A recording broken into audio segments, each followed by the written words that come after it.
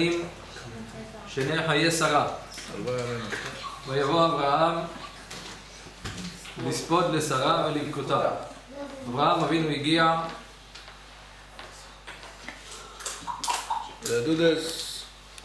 אברהם אבינו הגיע, אומר המדרש, רש"י מביא, מהיכן בא? מהר המוריה. ויבוא אברהם לספוד לשרה ולבכותה.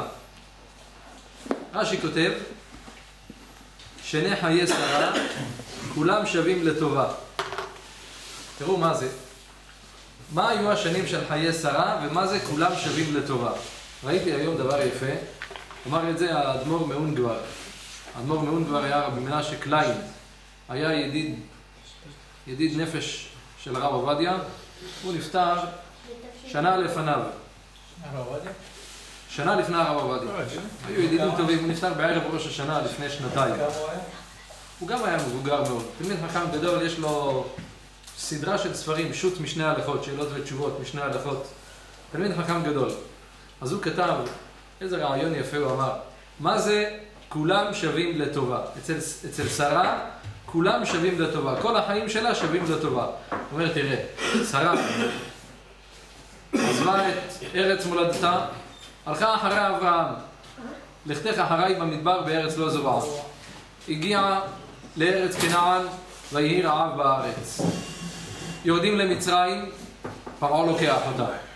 חוזרים בחזרה לארץ כנען, מגיעים לארץ כנען, עוד הפעם אין לה ילדים, אברהם לוקח את הגר, ותקל גבירתה בעיניה, ותענה שרי ותברח מפניה. נמאס לה מהגר, מענה אותה, בורחת. אחר כך יש לך, חוזרים, חוזרים בחזרה, יש לה את ישמעאל, ותרא שרה את בן הגר המצרית מצחק. טוב, יגרש את האמה הזאת ואת בנה. תשעים שנה היא מחכה לילד. שרה, כל החיים שלה שווים לטובה. אין לה שום דבר רע. כל החיים שלה שווים לטובה. שני חיי שרה כולם שווים לטובה. ריבונו של העולם, כולם שווים לטובה. תראה כמה, כמה צרות האישה הזאת עברה. וכולם שווים לטובה. למה? איך זה? ככה זה צדיק באמונתו יחיה. מישהו חי עם הקדוש ברוך הוא, מישהו מרגיש גם כי ילך בגץ אל מוות לא יראה רע, כולם שווים לטובה. אין כזה דבר שהאדם מרגיש רע. רציתי לספר לכם, היה אחד המשגיחים הגדולים בדור האחרון, היה רבי, רבי גדליה אייזמן.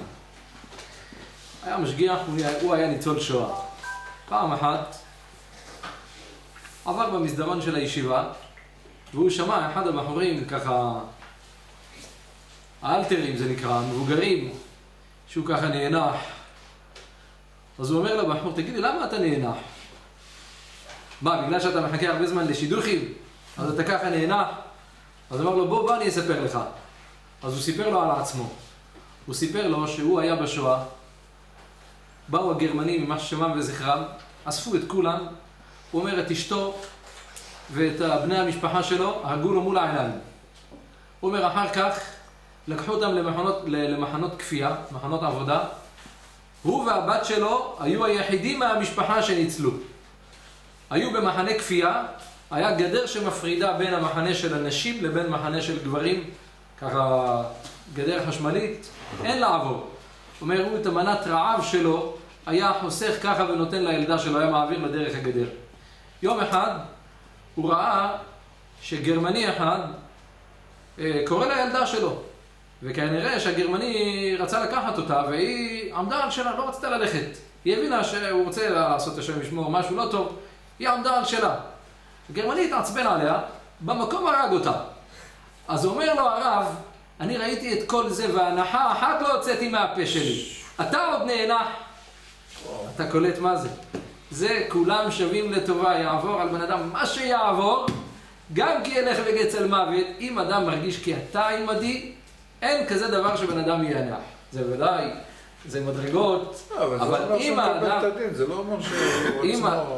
אם האדם, כתוב במדרש, שכשהשטן בא לאברהם אבינו במעש, בהר, בדרך לעקדה, אחד מהדברים שהשטן אמר לו, השטן אמר לו, תדע לך, כשאתה תגיע לשמיים, יגידו שאתה רוצח, יגידו שאתה שופך דמים, תדע, אתה דמיינת איזה נבואה, ואתה הולך עכשיו לעקוד את יצחק, לוקח את המאכלת, אתה תהיה בגיהינום. אומר לו אברהם, אם הקדוש ברוך הוא רוצה שאני אהיה בגיהינום, אני אהיה שם. טוב לי שם. איפה שהשם רוצה שאני אהיה, אני אהיה. הוא רוצה שאני אהיה בגיהינום. שאני אהיה שם, מה זה משנה? הוא רצה שיזרקו אותי לכבשן האש, שורף, אני אלך לשם, זה לא משנה לי איפה אני הולך, אני עושה את רצון השם. ועתה ישראל מה השם אלוקיך שואל מעמך. אם אדם תמיד חושב, מה השם עכשיו רוצה שאני אעשה? מה עכשיו? עכשיו הוא רוצה ככה. מה זה משנה מה? מה עכשיו? זה מדרגות גבוהות, אבל חייב אדם לומר מתי יגיעו מעשיי למעשי אבותיי, לפחות לנגוע קצת במעשים שלהם, מתי יגיעו, גם מלשון נגיעה, קצת לנגוע במעשים שלהם. תראו בפרשה שלנו איזה דבר שיכול לשנות. מעשה, לפעמים מעשה קטן, לפעמים מעשה גדול, אבל יש לו, למעשה אחד יש השלכה לדורי דורות. או לטוב או למוטב. המדרש אומר, נבהל להון איש רע עין, ולא ידע כי חסר יבואנו, זה העפרון. העפרון הטיפש הזה. אומר הרבה ואפילו מעט לא עושה. אז הרבה הרבה דיבר. מה? נשיא אלוהים אתה בתוכנו, במבחר קברנו קבור את מתיך, איש ממנו את קברו לא יכלה ממך מקבור מתיך, אבל הוא נבהל להון. ראה את הכסף, הסתנוור, ככה כמו שחתול המאולף ראה את העכבר שם הולך, זרק את הכל והולך מיד. נבהל להון, ראה כאילו הסתנוור. ולא ידע כי חסר יבואנו. המדרש אומר, ידוע שהורידו לו אות ו' מהשם שלו. למה הורידו לו אות ו' מהשם שלו? יש כאן רמז. דבר אחד, אברהם התכוון לרמוז לו, שם הרי מערת המכפלה היו קבורים שם ארבעה זוגות. אדם וחווה, אברהם ושרה, יצחק ורבקה ויעקב ולאה. אדם ושרה, אדם וחווה כבר היו קבורים. מי שנשאר לקבור, לעוד שישה אנשים. הורידו לו ו'. תדע לך, בתוך, ה, בתוך החלקה שלך היו צריכים להיות קבורים עוד שישה אנשים, שישה מאבות העולם. עוד אבות ואימהות. את כל זה יכלת להרוויח. בגלל שטות של 400 שקל כסף, הפסדת, זהו. זה היה רשום, היה יכול להיות רשום אצלך בטאבו, והזכויות היו שלך לדורות. הפסדת את הכל. בשביל קלקול כמה 400 שקל כסף עובר לסוכן. אבל גוי יודע מה זה דורות, דורות. זה דבר אחד. תראו, להפך, בפרשה, כשאברהם שולח את אליעזר. ויאמר אברהם אל עבדו זקן ביתו המושל בכל אשר לו. סימנה ידך תחת ירכי, ואשביעך בהשם אלוהי השמיים, אלוהי הארץ, אשר לא תיקח אישה לבני מבנות הכנעני. אומר לו אליעזר, יש לי, אתה יודע, ש... אתה יודע שיש לי הרי בת. והרי אליעזר, הוא דמשק אליעזר, מושל בכל אשר לו, הוא ראש הישיבה, הוא הכל. אתה יודע שאולי אליי כתיב, אומרים, הרי אתם יודעים שאליי כתוב אחרי זה. כשהוא סיפר את ה... כשהוא סיפר, כשאליעזר מספר. ללבן ה- את כל הסיפור, אז ואומר, ואומר אל אדוני, אולי לא תובע האישה ללכת אחריי, ישב את בנך. זה שמה כתוב אליי. זה לא כתוב בהתחלה. למה לא כתוב בהתחלה? הרי צריך להיות כתוב בהתחלה, שאליעזר אומר לו, אולי לא תובע האישה. בהתחלה, אליעזר גם כן הבין, תשמע, אתה, אליעזר, סך הכל חתיכת עבד. עם כל הכבוד לך, ואברהם זה אברהם. מה אתה בכלל משווה את עצמך? אבל כשאליעזר הגיע ללבן לחרן, והוא ראה שם את המחותנים, ראה את אה, לבן ואת בתואל, אמר אם אלה, אלה העגלים האלה, אליי כתיב, אני יותר נורמלי מהם. אה, אבל אני אמרתי, אולי לא טובה האישה, מה אני אעשה? אמר לו אברהם, אין ארור מדבק בברוך. אתם שומעים את המחמאה שאברהם נותן לו, אומר לו, תשמע, אתה לפני כמה דורות קיבלת משברך מנוח, נעשה ברבא שלך, אין ארור מדבק בברוך, אתה לא יכול לקחת את הבת שלי, את, את הבן שלי, אני לא יכול להתחתן. מה אליעזר עושה אחרי שהוא שומע כזה משברך? כזאת מחמאה הוא מקבל? זה מה שיש לך להגיד לי?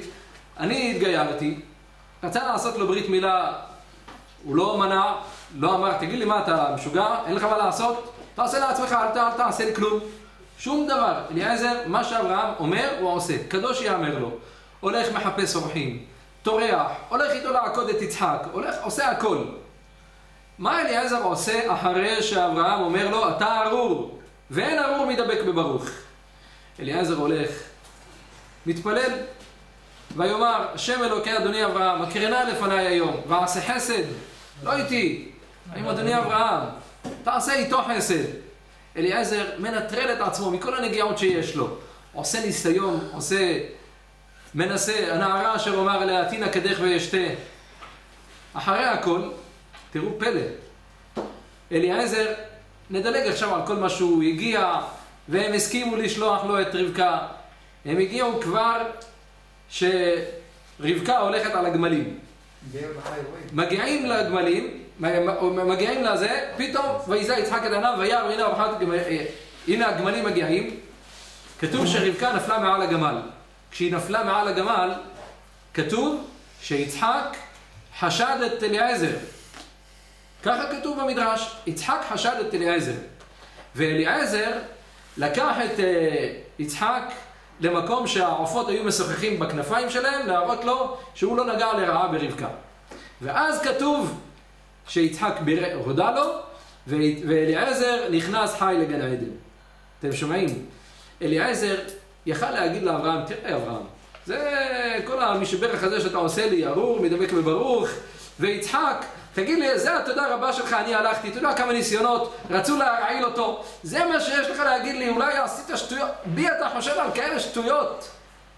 הוא שתק, אבל השתיקה הזאת, תראו לאיפה הוא הביאה אותו. נכנס חי לגן העדן. תראו גם את רבקה.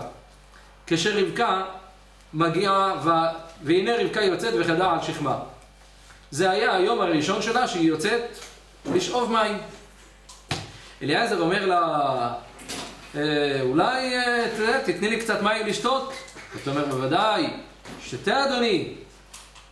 אחרי שהוא שתה, אמרה לו, וגם לגמליך אשקה. גם לגמלים שלך אני אשתה. תאר לך, עוצר אותך איזה נהג אוטובוס, לך יש איזה קיוסק, והוא אומר לך, תגיד לי, אולי אה, אתה יכול לתת לי קצת כוס מים לשתות?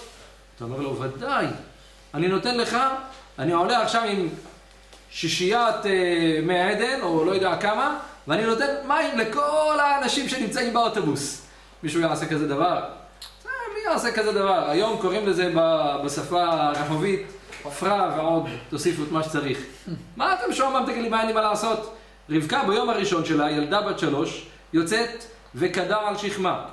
אליעזר רואה, למה היא יוצאת עם כדה על השכמה, הכד על השכם? היא הייתה מסתתרת מהאנשים שלא יראו אותה. מסתירה את הפנים שלה, כך כתוב. מסתירה את הפנים שלה. אליעזר כבר ראה שם דבר צניעות.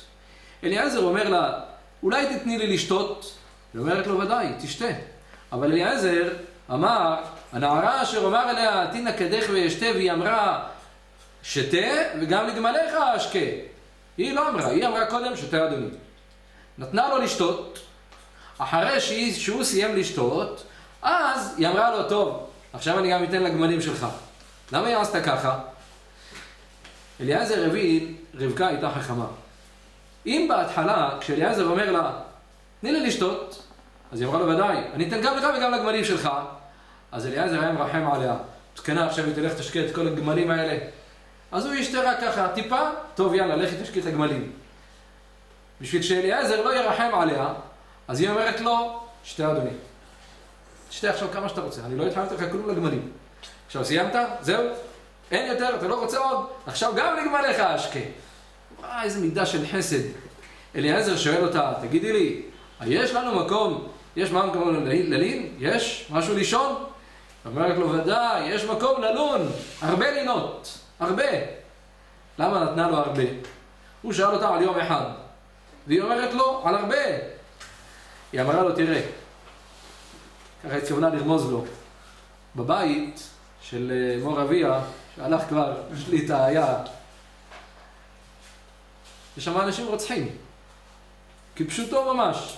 אז היא אומרת לו, התכוונה לרמוז לו, אם אתה תבוא ללבן ובתואל ותגיד להם שהוא, שאתה רוצה לישון לילה אחד, למחרת בבוקר אין, אין ראש. יהיה לילה אחד. יהיה לילה אחד וזהו. אמרה לו, אתה יודע, אתה רוצה להינצל? הגמרא אומרת, הגמרא בעבודה זרה, בדף כ"ה מספרת, על אחד האמוראים, שהוא הלך עם גוי. והגוי שאל אותו בתחילת הדרך, תגיד, לאיפה אתה הולך? נגיד, היה צריך ללכת מפה לנתיבות? אמר לו, אני הולך לבאר שבע. טוב, הולכים. הגיע לנתיבות, חתך ימינה, אומר לו, אה, רוצה שאתה נוסע לבאר שבע. אני אמרתי, אני צריך עכשיו ימינה לנתיבות. איזה חכמים אתם. הוא התכוון להרוג אותו באמצע, באמצע הדרך. אבל הוא אמר, טוב, יש עוד זמן, עד שנגיע. אבל הוא קיצר לו את הדרך, הוא האריך לו את הדרך, ובאמת הוא היה צריך לפנות לפני כן כבר, לקצר. ככה הגמרא אומרת, מי שהולך עם גוי, תגיד לו, אני צריך דרך ארוכה. ככה הגוי לא ימהר לעשות לך רע. תגיד, אה, טוב, יש לי זמן. ובאמת, כשאתה צריך, אתה צריך את הדרך כבר לפני כן, תיקח מיד ותגיע לחיים טובים ולשלום. אז היא אמרה לו, אם אתה תגיד לאבא שלי לילה אחד, כבר באותו לילה אבא שלי יהרוג אותך. תגיד לו, אתה צריך הרבה לילות. למחרת בבוקר תגיד לו, טוב, אני קם הולך. ובאמת ככה היה. ניסה להרוג אותו. ניסו להרוג אותו מיד, זה ודאי.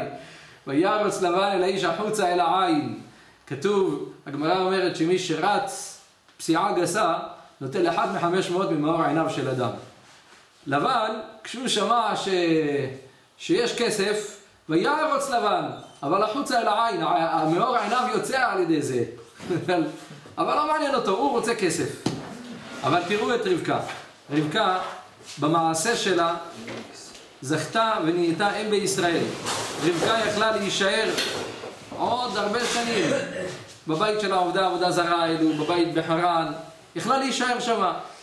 רבקה לא עשתה חשבונות. רבקה אמרה, אני יכולה לעשות, גם אם אני עושה לפנים משורת הדין, אני אזכה. והנה היא זכתה.